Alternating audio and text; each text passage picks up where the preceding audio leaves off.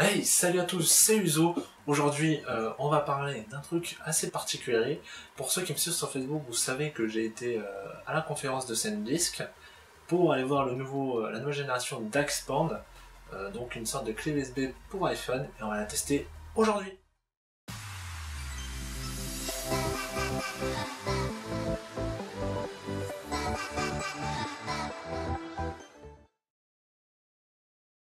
Disponible depuis début 2016, l'Expand est deuxième génération est une clé USB pour iPhone et iPad comme sa grande sœur, pouvant augmenter la capacité de votre smartphone ou de votre tablette jusqu'à 128 Go. Comme vous pouvez le remarquer, l'Expand deuxième génération est plus petite que la première génération avec un port Lightning et un port USB. Vous pouvez le connecter donc sur votre iPad ou votre iPhone assez facilement. Il encombre très peu les mains et est compatible avec toutes les coques euh, de téléphone. Donc assez facile d'utilisation. Plus qu'à allumer votre smartphone ou votre tablette, une petite notification vous avertira qu'il y a une application à télécharger. Et voilà, plus qu'à télécharger Expand Drive pour pouvoir utiliser cette belle clé USB. Après avoir téléchargé cette application, plus qu'à la lancer. Quand on la lance, la première fois, on nous fait une petite visite guidée euh, pour nous expliquer un peu à quoi sert cette clé USB. Donc elle permet de libérer de la mémoire pour créer plus de mémoire, ce qui est logique pour une clé USB, n'est-ce pas? Transférer des fichiers entre vos appareils est possible entre l'iPad, euh, l'iPhone et votre ordinateur, bien sûr. On peut ensuite, lire des vidéos et de la musique depuis le lecteur qui est intégré directement sur, euh, sur la et ça c'est cool. Enregistrer les mémoires euh, des, médias, sociaux, c'est-à-dire qu'on peut faire des sauvegardes pour Facebook, Instagram et Picasa. Donc c'est quelque chose qui peut être utile pour certains et on peut aussi activer la sauvegarde automatique. Bon là on va pas l'activer, euh, mais pour les, personnes qui veulent le faire, c'est toujours bon à prendre. Donc on arrive sur le menu final de l'Expand avec des petites vignettes qui nous expliquent un peu ce que peut faire euh, donc ce, cet Expand. On peut donc copier les fichiers, afficher les fichiers et sauvegarder et restaurer. Donc on va commencer par le, premier, copier les fichiers. Donc on peut copier les photos à partir du téléphone ou les fichiers à partir de l'Expand. Nous on va faire copier les, photos. On va prendre, euh, allez, trois photos. Voilà, une, deux, trois. Et on va les copier sur le dossier photo qu'il y a déjà euh, pré-créé sur la. Il nous demande donc si on veut supprimer les photos. Moi j'ai envie de les garder donc je les supprime pas. Ensuite on peut afficher les fichiers. Donc on a déjà des dossiers euh, qui ont été faits par l'Expand je pense pour tester l'application. Donc on a le fichier vidéo, le fichier photo et musique. Donc là vous voyez qu'il y a les, petites musiques et là si je clique sur une musique on va pouvoir l'écouter via le lecteur intégré par l'application. Par exemple Brass Narwhal on a voilà, un lecteur intégré. Euh, qui ressemble très peu à celui de l'iPhone, mais qui est euh, très pratique. On a aussi les vidéos, donc on peut lire aussi les vidéos avec un lecteur vidéo euh, de l'Expand. Voilà. Donc à voir après au niveau de la qualité, si c'est la même, normalement oui. Donc là, j'ai pas eu de problème au niveau de mes vidéos et de nouveau au niveau de mes musiques. On peut sauvegarder et restaurer avec la photothèque par exemple, les médias sociaux et restaurer les contacts. Donc là pour l'appareil photo rien de plus simple, on peut faire une sauvegarde automatique, on peut euh, restaurer ou sauvegarder là où on veut. On peut aussi sauvegarder les médias sociaux, Facebook, Instagram et Picasa, comme je vous l'avais dit, avec euh, bien sûr une connexion prérequis. Et sauvegarder et restaurer vos contacts automatiquement ou non. C'est pratique si vous, avez peur de, perdre votre téléphone ou si euh, vous, voulez changer de téléphone, ça peut être aussi pratique. Là, on a un petit statistique de ce qui nous reste. Là, par exemple, sur mon iPhone, il me reste 25 Go. Voilà, on a différentes statistiques, différentes sauvegardes que peut proposer l'Expand. En haut, on a le lecteur, on peut y accéder assez rapidement au lecteur audio. Donc ça, c'est pratique. On peut prendre même des photos euh, directement euh, sur la clé USB et sera sauvegardé directement sur la clé USB avec l'appareil d'origine Apple, je précise bien. Et euh, on peut faire pareil de même pour le mode vidéo. Donc là, rien qui change beaucoup. Et là, après, on peut donc afficher les, photos qu'on a prises directement sur l'iPhone. C'est directement aller sur l'iPhone, comme je vous l'avais dit. Et la qualité reste la même qu'un iPhone, ce qui reste normal. Ensuite, on a les paramètres avec euh, le nom du lecteur. On peut lui donner un nom, euh, quel qu'il soit. On peut purger les caches. On peut améliorer la sécurité. Donc voilà, on peut activer la sécurité.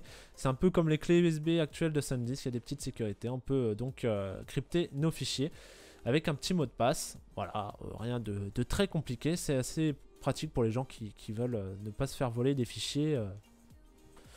on, ne sait jamais. Et là, on a voilà, le, petit support, le petit commentaire qu'on souhaite mettre à l'application. Donc comme vous le voyez, vous pouvez voir que la clé donc, du coup se met vraiment derrière le téléphone. Et euh, est vraiment vraiment très pratique, on peut le mettre dans la poche. Voilà, c'est élastique, c'est ça, le téléphone reste léger. Et euh, franchement, c'est le top du top. Ils ont vraiment fait du bon boulot sur cette deuxième génération. Et on va parler des points positifs de cet Expand avec un prix qui débute avec la version 16 Go à 49 euros et qui finit par le, 128 Go à 139,99€. Prix TTC bien sûr. La version qu'on a testée, la 32 Go à 69,99€. C'est un prix accessible pour ces nouvelles versions de clés USB euh, iPhone. Il faut savoir que euh, actuellement on avait euh, des clés iPhone mais énormes et là c'est tout petit donc voilà.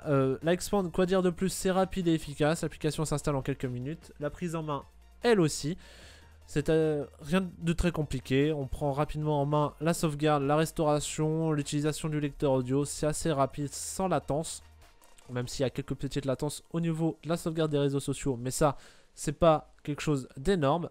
Une taille minimale euh, qui fait à peu, à peu, près quelques centimètres, on peut la mettre dans sa poche, on peut la brancher derrière l'iPhone sans qu'elle nous gêne, comparé à la première génération, et le tout sans compromis. Prise et lecture intégrée qui est fortement intéressante, c'est-à-dire qu'on peut prendre une photo, ça sauvegarde directement sur l'Expand, on peut prendre une vidéo, ça sauvegarde directement dans dans, et on veut donc écouter nos musiques sans devoir passer par l'App Store. Imaginons qu'on soit euh, à l'étranger, un ami à nous veut nous faire écouter de la musique, on veut cette musique, on la met sur la clé USB, on la branche à notre téléphone et on peut l'écouter sans problème. On a aussi euh, les différentes sauvegardes, comme j'en avais fait part, c'est-à-dire la sauvegarde réseaux sociaux, la sauvegarde des contacts et la sauvegarde des photos. Et on va parler des points négatifs de l'Expand 2.0. Il faut savoir que la première euh, génération d'Expand avait beaucoup de défauts. Elle était grosse, lourde, pas pratique. Ici, point de ça. Les points négatifs, c'est quelques bugs avec l'application. Euh, des fois, elle a du mal à se lancer, mais rien de plus simple. Ça arrive une fois sur 10. Vous euh, cliquez, vous enlevez, vous éteignez l'application, vous la relancez, ça marche. L'option magnétophone qui est grande absente, c'est dommage. On aurait bien aimé enregistrer nos réunions de plus de 2 heures euh, directement sur l'Expand sans se casser la tête à, l'enregistrer directement sur notre iPhone et à bouffer la mémoire. Euh, alors que si on n'a pas beaucoup de mémoire, bon, on peut pas forcément enregistrer avec le magnétophone. Euh, la sauvegarde musicale absente elle aussi, mais ça c'est pas vraiment un point négatif vis-à-vis de l'iPhone, mais plus un point négatif de l'iPhone. On est obligé de passer par l'iTunes. Certes, on peut écouter donc notre musique via l'iPhone, on peut pas donc la copier directement sur notre téléphone, et on peut ni récupérer aussi les musiques qu'on a sur notre téléphone. Donc ça c'est plus dû à l'iTunes et non à l'iXpand. Et euh, la compatibilité euh, future gen, est-ce qu'elle sera compatible? C'est à voir. Il faut savoir que l'iPhone 7, il y a plein de rumeurs. On ne sait pas s'il sera toujours du Lightning ou pas. Donc la compatibilité future gen, est-ce qu'elle est garantie? Je ne sais pas. En tout cas, l'objet est euh, garanti 2 ans. Donc en tout cas, euh, je pense qu'on ne risque rien. Je pense que l'iPhone 7 sera aussi compatible avec l'Expand. L'Expand 2.0 fait mieux que son prédécesseur en proposant une gamme de produits allant de 16 à 128 Go avec une application facile à utiliser, avec une clé légère et petite. SanDisk a enfin compris le message. Il propose ici alors une clé utile à tous et un prix défiant toute concurrence actuellement. Il mérite donc la note de 17 sur 20. Hey, salut Merci d'avoir regardé cette vidéo, donc j'ai parlé de l'Expand de SanDisk. Il faut savoir que la clé m'a été offerte par euh, SanDisk pendant cette conférence, donc c'est sponsorisé par SanDisk si je puis dire. On voit de plus en plus de, ces, clés présentes euh, aussi bien euh, chez, d'autres concurrents, chez d'autres marques. il faut savoir que, ça commence à devenir une habitude. J'espère qu'ils vont la garder pour assez très pratique. Il faut franchement savoir que des fois j'ai la flemme de, passer par iTunes pour écouter ma musique. Je veux juste écouter un album. Voilà, je le branche, écoute pendant mon voyage, ça prend pas trop de place. Et, euh, voilà, c'est tout bénef. Je peux même, quand je suis un ami, pas besoin d'avoir la iTunes pour, transférer un fichier, pour transférer une photo, une vidéo. Euh, voilà, ça va hyper vite et franchement, euh, c'est une bonne initiative. Donc n'hésitez pas à me suivre sur mes différents réseaux sociaux, à vous abonner, à liker et à commenter. S'il y a des erreurs, n'hésitez pas à me le dire, je m'améliorerai. En tout cas, merci à vous et